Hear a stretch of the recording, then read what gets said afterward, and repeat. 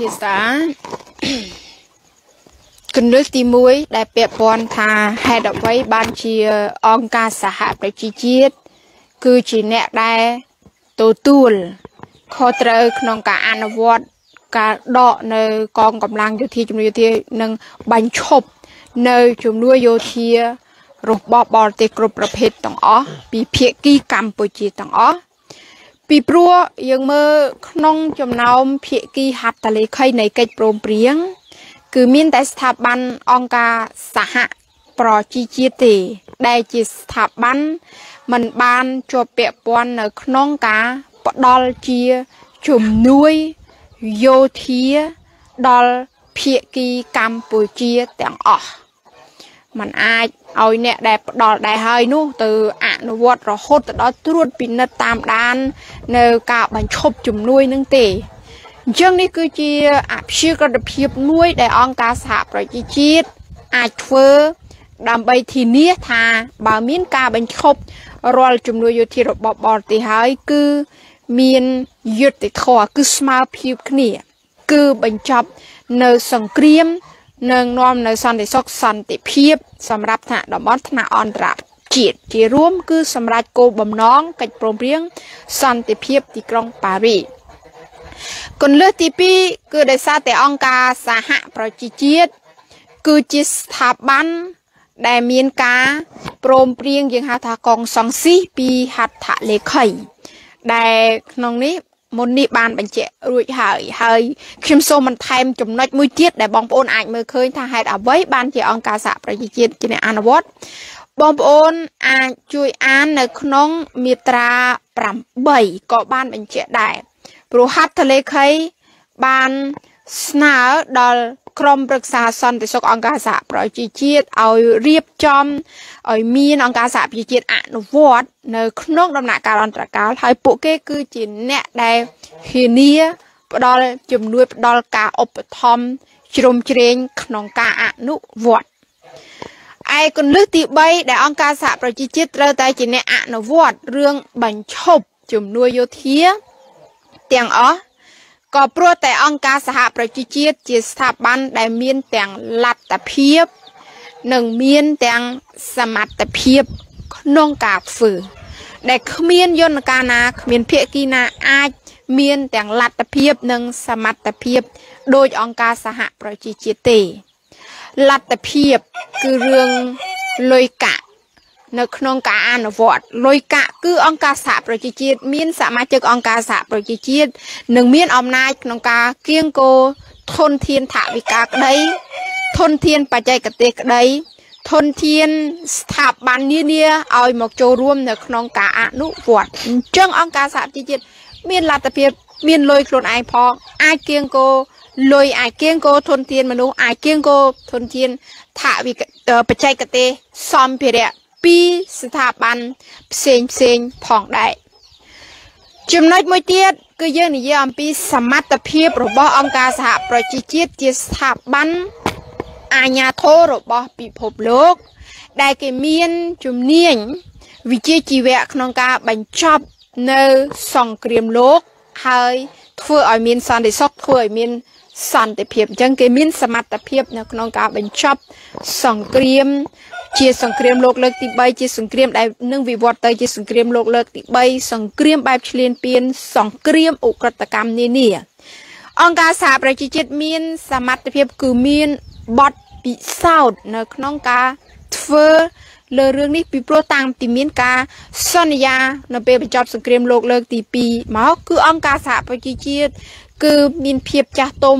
រឹងដៃរឹងជើង ក្នុងការអនុវត្តចូលរួមធ្វើឲ្យមានសន្តិសុខសន្តិភាពយន្តការនៃការគោរពសិទ្ធិមនុស្សហើយអង្គការសហប្រជាជាតិនេះទៀតសោតគេមានទាំងយន្តការអន្តរជាតិដទៃទៀតដែលមានការជាប់ពាក់ព័ន្ធក្នុងការអនុវត្តរួចជាស្រេចជាក់ស្ដែងមានកតិកាសញ្ញា អនុសញ្ញា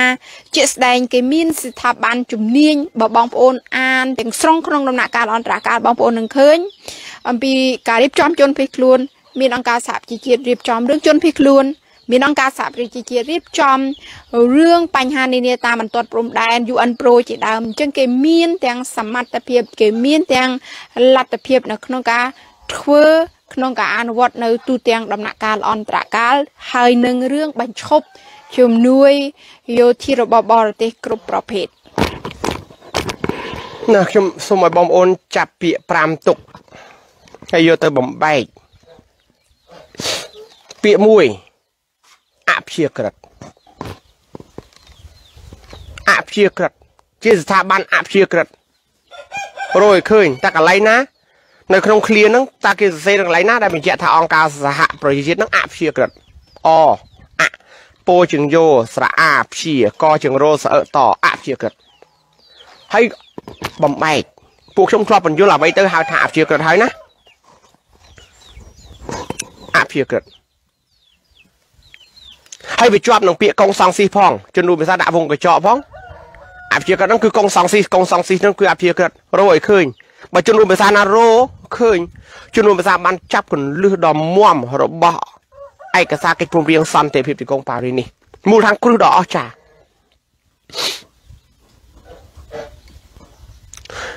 ត្រេទី2ចំណុចទី2ពាក្យទី2សង្គ្រាមភូមិសាស្ត្រនយោបាយសង្គ្រាមភូមិសាស្ត្រនយោបាយបើជនរួមភាសាចាប់កលឹះនេះជាប់ប្រកាសណាស់ហេតុអ្វីបានជា អង្គការសហប្រជាជាតិទើបអាចបញ្ឈប់ជំនួយយោធាបរទេសបំបែក អ្វីទៅសង្គ្រាមភូមិសាស្ត្រនយោបាយរកឲ្យឃើញជនរួមភាសារកឃើញប្រកាសជាយល់ថាអោះអញ្ចឹងតើបានជាលោកហ៊ុនសែនមិនអាចបញ្ចប់បានសម្ដេចសែនុលោកលន់ណុលលោកខៀវសំផនពលពតអ៊ីត្រីបញ្ចប់មិនបាន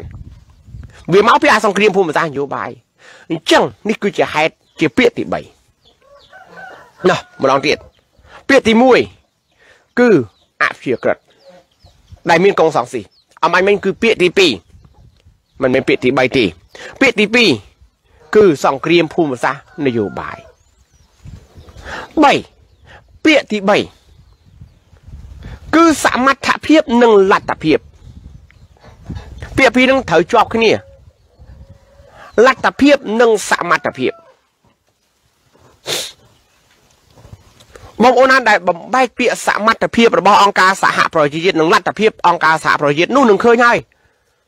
ថាមានតែអង្គការសហប្រជាជាតិទេទើបអាចមានសមត្ថភាពនិងលទ្ធភាពគ្រប់គ្រាន់ក្នុងក្នុងការបញ្ឈប់ជំនួយយោធាពីខាងក្រៅទាំងអស់មកដល់ភាគីខ្មែរទាំងអស់លទ្ធភាពនិងសមត្ថភាពពាក្យទី4ជនរួមភាសាគឺនិយាយអំពីបេសកកម្ម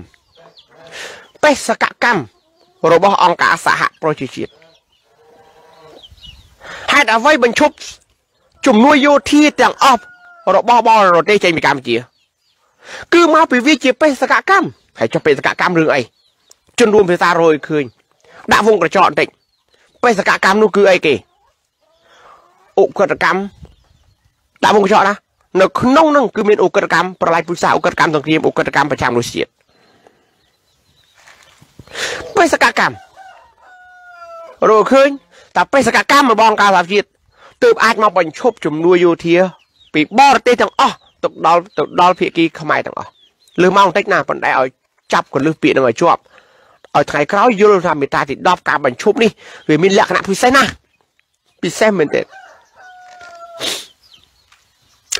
ពាក្យទី5ហេតុអ្វីបានជាការបញ្ឈប់ជំនួយយោធានេះត្រូវការអង្គការសហប្រជាជាតិ គឺការធានាការធានាជាអន្តរជាតិការធានាជាអន្តរជាតិរឿងនេះมันអាចធានាដោយបកគលมันអាចធានាដោយបកมันអាចធានាដោយយួនឬក៏ដោយដោយចិនដោយបរទេសណាមួយអត់มันអាចធានាដោយតំបន់អាស៊ានมันអាចធានាដោយតំបន់អឺរ៉ុបអត់អត់มันអាចធានាដោយចលនាកុម្មុយនីសឥណ្ឌូចិនมันអាចធានាដោយចលនាមិនចូលបកសម្ព័ន្ធมันអាចធានាដោយចលនា NATO អត់អត់បាន